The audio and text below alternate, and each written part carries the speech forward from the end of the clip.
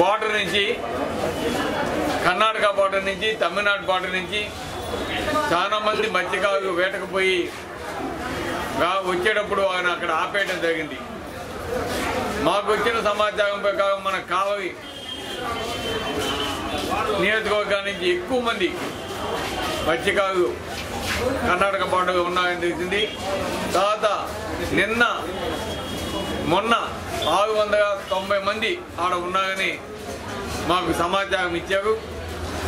కాకపోతే నిన్న ఇక్కడికి వచ్చేదానికి తీసుకొచ్చేదానికి పోతే రెండు వందల యాభై మంది దాకా మాత్రమే ఉన్నారు. మిగతా మంది వచ్చేసారు.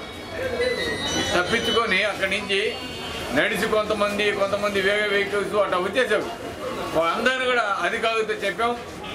ఐడెంటిఫై చేయండి. గ్రామాల్లో కూడా చాలా మత్స్యకారు గ్రామాలు దురాయిస్తున్నారు కొత్త వాళ్ళు వస్తే కానిచ్చేది కాదు బయట వాళ్ళ నుంచి వస్తే కానిచ్చేది కాదని. ఈరోజు అట్ట బయట కొంతమందిని పెట్టేస్తున్నారు. వాళ్ళందరినీ కూడా చూసి అధికారులు వారిని తగిన పరీక్షలు చేసి ఏదో క్వారంటైన్ పంపించేసి వారికి ట్రీట్మెంట్ ఇవ్వాలని కూడా మేము కోరుతున్నాము. లేకుంటే వారు ఆ గ్రామాల్లో పోతే మగ ఈ వ్యాధి పెరిగే అవకాశం ఉంది కాబట్టి అధికారులు ఇమీడియట్గా స్పందించి తగిన చర్యలు తీసుకోవాలని కూడా మేము తెలియజేస్తున్నాం. ఈరోజు ఆరు వందల మంది ఆడ మొన్న ఉంటే రెండు వందల మంది ఉన్నారంటే రెండు వందల యాభై మంది ఉన్నారంటే నాలుగు వందల మంది తప్పించుకొని వచ్చేసారంటే ఒక విధంగా బాధేస్తుంది. అందరినీ తగిన చర్యలు తీసుకొని వారిని ఇమీడియట్గా కస్టడీలో తీసుకొని వారికి తగిన సరైన ట్రీట్మెంట్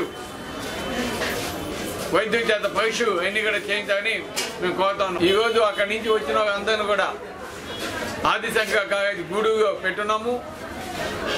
అక్కడ విషయాలన్నీ వారికి కావాల్సిన అవసరాలన్నీ కూడా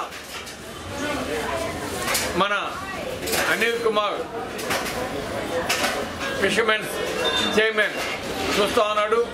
దానికి సంబంధించిన ఫుడ్కి ఖర్చులన్నీ కూడా ప్రభుత్వం అరేంజ్ చేస్తూ ఉంది. ఎవ్వరూ బాధపడలేదు. ఇబ్బంది లేకుండా చూసుకునే బాధ్యత మేము చూసుకుంటామని కూడా తెలియజేస్తున్నాం. అదేవిధంగా కొంతమంది అనాథలు భిక్షకాలు భిక్ష భిక్షం ఎత్తుకునే బతికేవాళ్ళు అందరూ కూడా ఈరోజు జైభవ వైఫై భవనాలు పెట్టి వారికి ఫుడ్ అంతా కూడా ప్రభుత్వం అరేంజ్ చేస్తుంది కాబట్టి ఎవరిని కూడా బయట కాకుండా వారికి ఎటువంటి ఇబ్బంది కాకుండా ప్రభుత్వం చర్యలు తీసుకుంటుందని కూడా తెలియజేస్తాం